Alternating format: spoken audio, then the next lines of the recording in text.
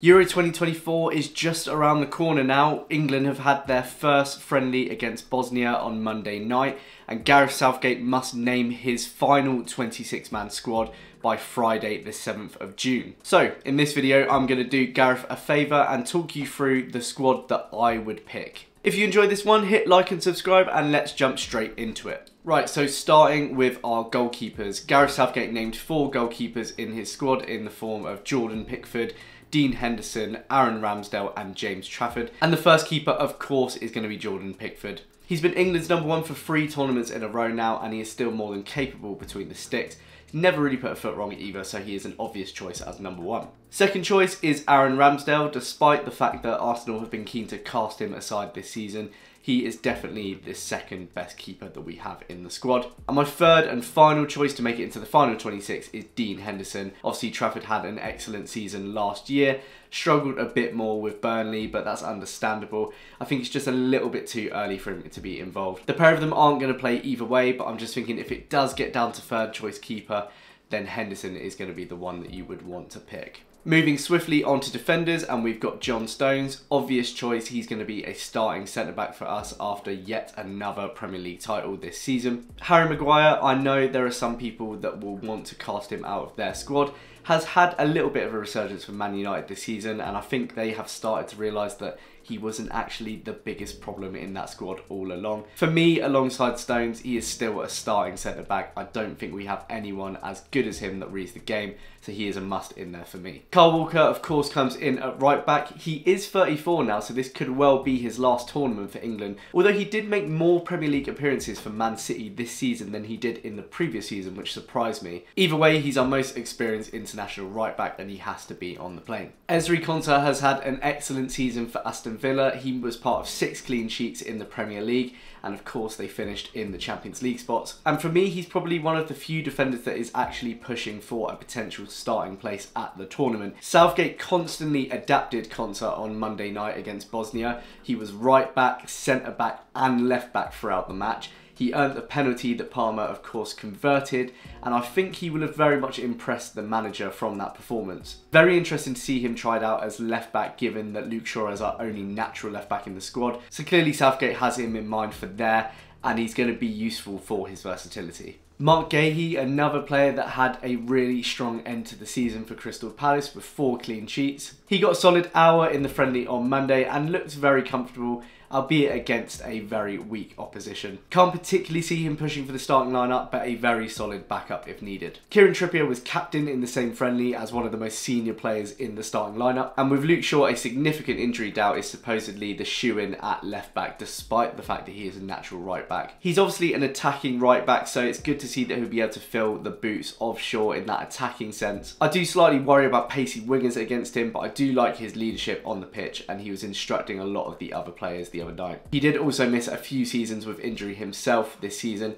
but if he is available and Shaw is a doubt, then I think he's got to be in there. Luke Shaw has missed a ton of football this season. He only played 15 matches in all competitions and he has been out with injury since February. He is sounding like a big doubt for the start of the tournament, but there has been a lot of talk about the fact that because of this expanded 26 man squad that we have, that we may be able to bring him along and hope that he gets fit midway through the tournament. We've seen the same before in the past with the likes of Harry Maguire. He did come in, he did improve the team. So I think with that expanded squad in mind, then Shaw will be on the plane. My second last defensive choice is Joe Gomez. He played a lot of football for Liverpool this season, 51 matches in all competitions, popped up with a few assists as well. And again, I think he's useful because he can play all across the back line. He played 19 games at left back and 25 at right back this season. So if there is any injuries on either flank, then we do have a versatile option there too. My last defensive choice is Jarrad Branthwaite, who has enjoyed his breakout season for Everton. Now in terms of picking between him and Dunk, I think it was easy for me.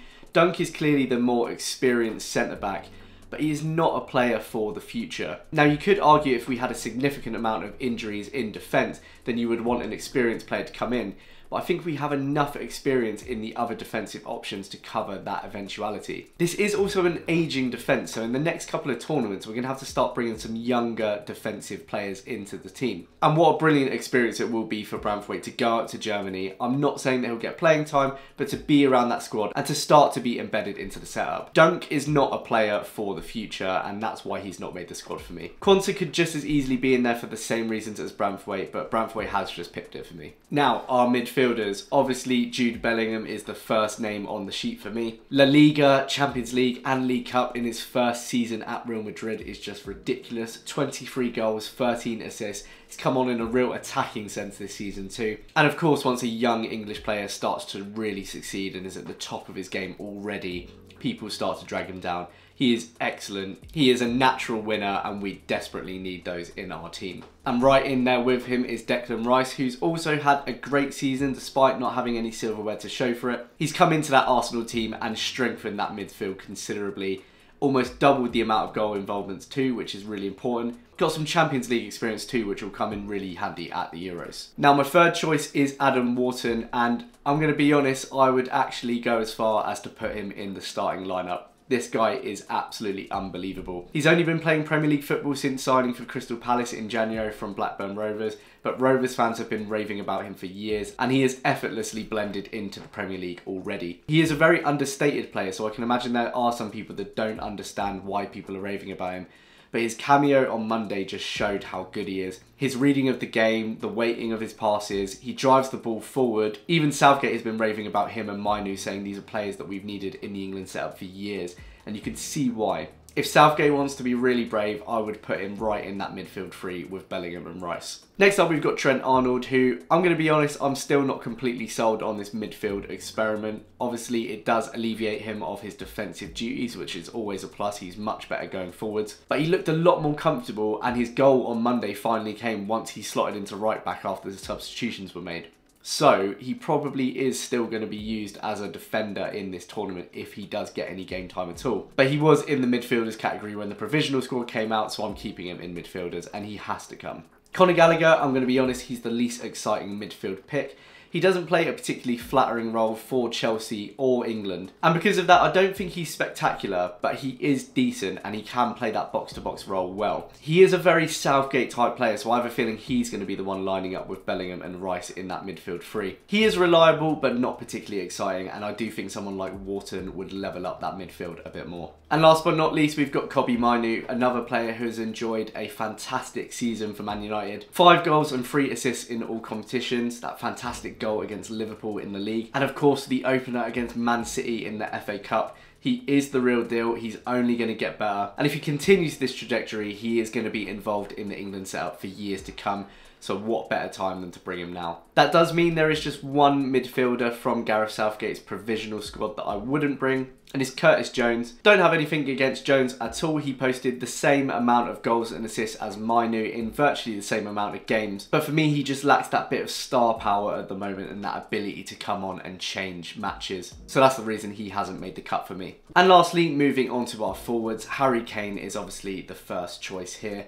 44 goals and 12 assists in his first season for Bayern Munich. Absolutely mental stats. He is a world-class striker. We really, really could have done with him finally winning something this season to just get that off his chest before he heads out to the Euros. I think it would have done him the world of good. But still, insane stats that he's posted. You saw when he came on in the friendly that he's just a class above any other forward that we have. Bukayo Saka, another obvious choice. 20 goals and 14 assists for him this season, just two less than the season before, so incredibly consistent for Arsenal. He did seem to be struggling with some injury problems towards the end of the season, but assuming that he is fit, then he has to be there. Phil Foden, the Premier League player of the season, 27 goals and 12 assists for him this year. He's been an absolute menace for Man City. Get him playing in the right position in this England team and he is going to do some serious damage. And speaking of doing damage, I've also got a Ebere Eze. Being a QPR fan, I have talked about this guy playing for England for years, and I think his performance against Bosnia really started to show people what he could do.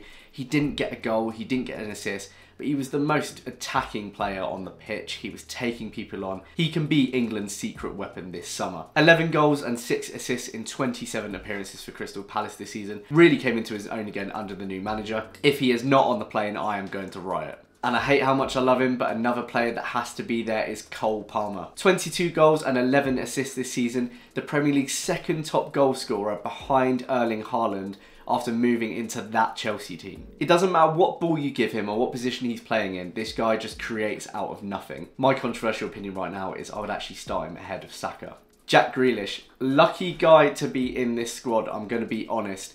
Less appearances for Man City this season, three goals, three assists. There are some forwards that I haven't included that probably could deserve a shout ahead of him. The only reason I do have him in there is we've got a lot of young attacking options that are new to the squad He's been familiar with the setup for a few years now, and he has been at the mercy of Pep Guardiola's team selections. He won a treble with them the season before, and in any other team, he's starting every week. So I don't think his slight drop off can be put down to him necessarily, and more so just that ridiculous depth in that Man City squad. Southgate has been daring in calling up some newer players into the team, but I do think that we need a little bit consistency up front, so Grealish makes it in on this basis. Ollie Watkins had a very good season too, 19 goals and 13 assists, and it's become very clear over the last few England games that Southgate favours him as Kane's deputy. The interesting thing is England just don't really play to suit him, not in the same way that Aston Villa do. And so I think if we do find ourselves in a situation where he has to come into the team because, say, Kane's injured, we'd probably have to make a couple of other tweaks in order to serve him best. Still, excellent form for Aston Villa this season, so he makes the cut. And my final choice in my 26-man squad is Ivan Toney, who I'm going to be honest, just like Grealish, is probably quite lucky to make it here. He got straight off the mark for Brentford after returning from his gambling ban in January, scoring four goals in five matches, including against Spurs and Liverpool. And then he just hit a real dry patch and didn't score for the 13 or 14 remaining matches that he played. But he does get in on a couple of things. One, his profile is a little bit more similar to that of a Harry Kane type striker, and so Southgate may opt to bring him in in certain situations. He's also, of course, a very good penalty taker, and those are always handy in international tournaments. He does also have that bit of cockiness and arrogance, which can always be useful in these kind of high pressure situations. So finally, let's cover the three forwards who haven't made it into my squad. First up, we've got Anthony Gordon. I'm actually a big fan of him. He's had a really good season for Newcastle. He's young, he's promising. But when he's competing for a place out on that left wing against potentially Grealish, Eze, and maybe even Foden, he just falls to the bottom of the pile for me. All of those other players have that bit of star power, that sort of maverick quality about them. And I'm just not seeing enough of that yet for him to make this final squad. After 20 goals and 10 assists in all competitions, Jarrod Bowen is definitely the harshest call I've made to leave out here. My issue is I'm just not convinced about him playing for England. That's eight caps now without a goal. He's often forced out onto that right wing, which I know he played about 50% of his games out there for West Ham this season but he has come into his own as their sole centre forward, and he's just not going to get that opportunity up front. He looked pretty uncomfortable in the game against Bosnia. He does have his moments, but unfortunately I can't fit him in here. And my last exemption is James Maddison. He looked very promising at the start of the season when Spurs were right at the top of the league. But after that ankle injury kept him out for a couple of months, his goal involvements have been few and far between. Maddison has always looked a promising player, but he's one that I think has needed to add goal involvements to his game. I've just not seen enough of that at Spurs for him to warrant a place here. When he came on in the friendly on Monday as well, a lot of the moves he was trying just didn't come off. And that's a bit concerning when you're coming on against a tired Bosnia team that were 1-0, 2-0 down at this point. When you look at the competition in that number 10 space, which could be anyone from Bellingham to Foden to Eze, he's just not high enough up the list for me. So there we go, that is my final 26 man squad for Euro 2024. What do you think? Any players I have got totally wrong? Let me know in the comments below. I will happily take the flak. I think this is an incredibly strong squad. I'd be very happy if this is what Southgate took. In my next England video, I am going to be predicting every stage of the tournament. So if that's something you're interested in watching, then make sure you hit like and subscribe to be notified when that one goes up. Thanks again for watching and I'll catch you next time. Cheers.